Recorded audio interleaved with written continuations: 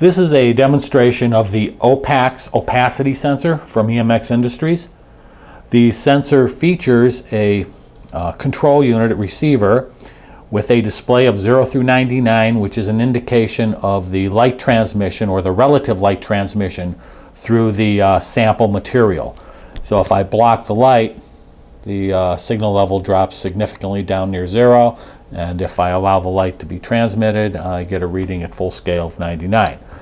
So the, the sensor also features a uh, discrete output, NPN or PNP discrete output, and it's automatically selected. And the discrete output triggers when the signal level exceeds a threshold. So as I block the light, you see the red LED on the sensor goes out and the discrete output is off. And as I allow the signal to go above the threshold, the uh, discrete output would turn on. Uh, in addition to the discrete output, there is a 0 to 5 volt analog output which can be monitored uh, by a PLC to, uh, to log or measure or otherwise record the, uh, the, uh, the measurement levels.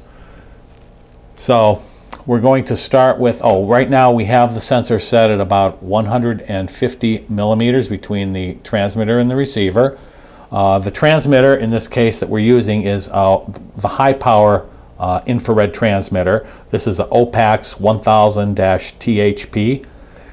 And again, as the light is transmitted, we'll get a, a relative signal level on the display. So we're going to look at a container here, which is a uh, OK opacity, acceptable. And you can see the signal level or the opacity is uh, well below the threshold, which I set at a value of 50. We'll go into the uh, setup menu.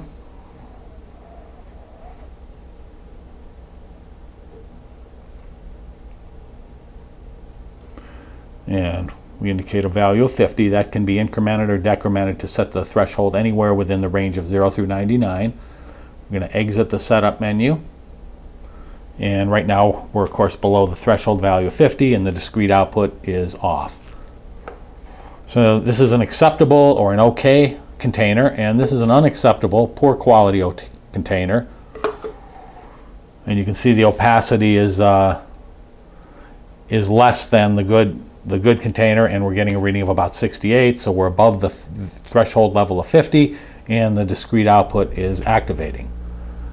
Um, in this type of an application, since we have discrete uh, containers, we would usually uh, recommend some type of uh, position sensor to indicate to your data system or your PLC that the container is properly positioned between the sensor, uh, sensor's transmitter and receiver, and that we're getting a good reading. So at this point, we would read the sensor and see the discrete output is activated and reject this uh, poor opacity container.